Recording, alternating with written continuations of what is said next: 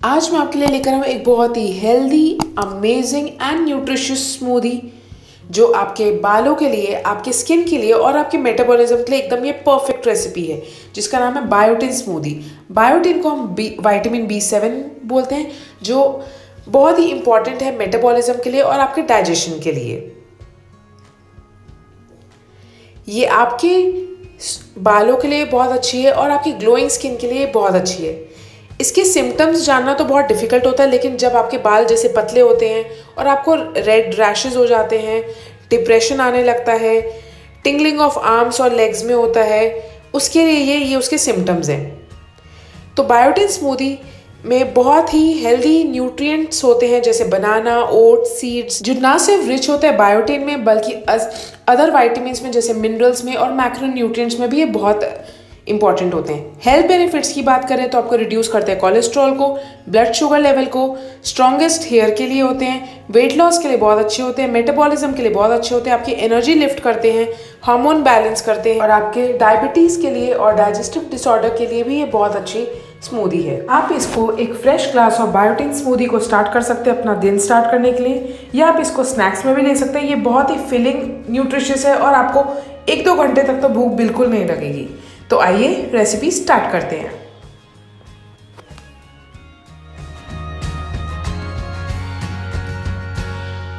अगर आपको मेरी वीडियोस अच्छी लगती हैं तो आप मेरे चैनल को सब्सक्राइब कीजिए और साथ ही में बेल बटन पर क्लिक कीजिए ताकि आपको मेरी हर वीडियो की नोटिफिकेशन टाइमली बेसिस पर आए। तो चलिए आज की मज़ेदार रेसिपी शुरू करते हैं। बायोटिन स्मूदी बनाने के लिए मैंने सबसे पहले ये ओट्स लिए हैं peanut butter cocoa powder mix nuts like pumpkin और सनफ्लावर नट्स डेट्स दो से तीन, इसके मैंने सीड निकाल दिए हैं और ये मैंने फ्लेक्स सीड्स लिए हैं।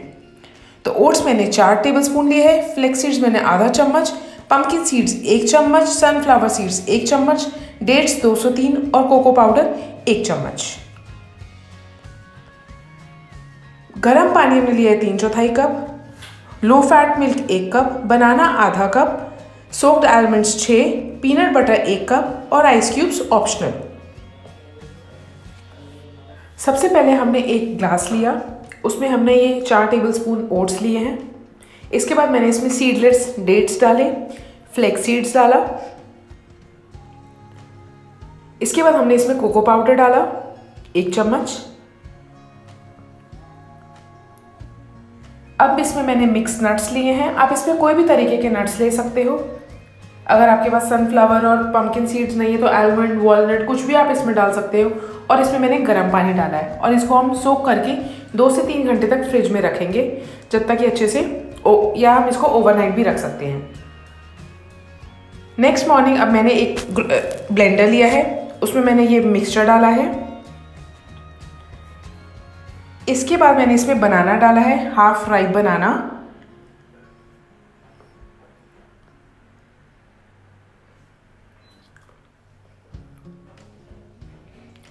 अब मैंने इसमें डाला peanut butter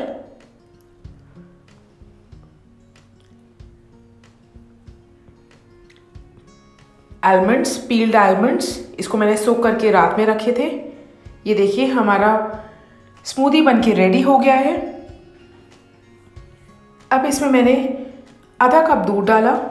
ये मैंने लो फैट मिल्क लिया है। आप इसमें प्लांट बेस्ड मिल्क भी ले सकते हैं, जैसे आलमंड मिल्क सोया मिल्क तो ये देखिए हमारी बायोटिन स्मूदी बन के रेडी हो गई है।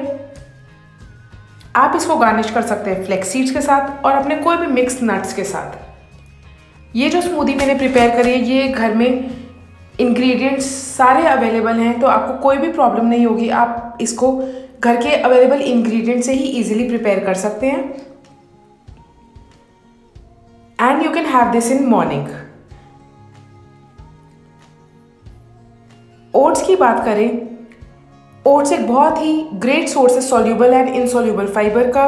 रिच है वाइटामिन में मिनरल्स में, जैसे manganese phosphorus copper magnesium dates की बात करें तो डेट्स में बहुत सारे वाइटामिन होते हैं। They are good source of carbohydrates and fibre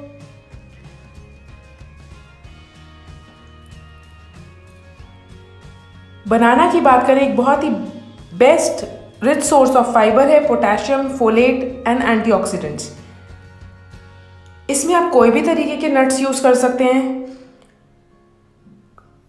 अगर इनकी न्यूट्रिशनल वैल्यू की बात करें तो ये बहुत ही गुड अमाउंट इसमें कैल्शियम होता है मैग्नीशियम होता है manganese vitamin copper peanut butter की बात करें तो ये एक बहुत ही अच्छा सोर्स है न्यूट्रिशन का, जिसमें प्रोटीन होता है वाइटामिन ई नियासिन कॉपर हमने इसमें फ्लैक्स सीड्स भी यूज़ करें। बात करें इसकी न्यूट्रिशनल वैल्यू की, इसमें बहुत सारे न्यूट्रिएंट्स होते हैं, जैसे ओमेगा थ्री फैटी एसिड्स जो आपकी डायबिटीज़ और डाइजेशन फाइबर के लिए बहुत अच्छा होता है।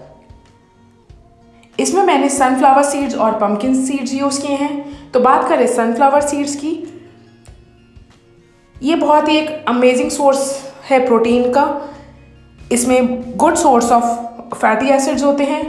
बात करें सनफ्लावर सीड्स की तो सनफ्लावर सीड्स में प्रोटीन होता है अनसैचुरेटेड फैट होता है including omega three fatty acids आप इस रेसिपी को ज़रूर ट्राई कीजिएगा और मुझे टैग कीजिएगा इंस्टाग्राम में, अगर आप ये मेरी रेसिपी ट्राई करें तो।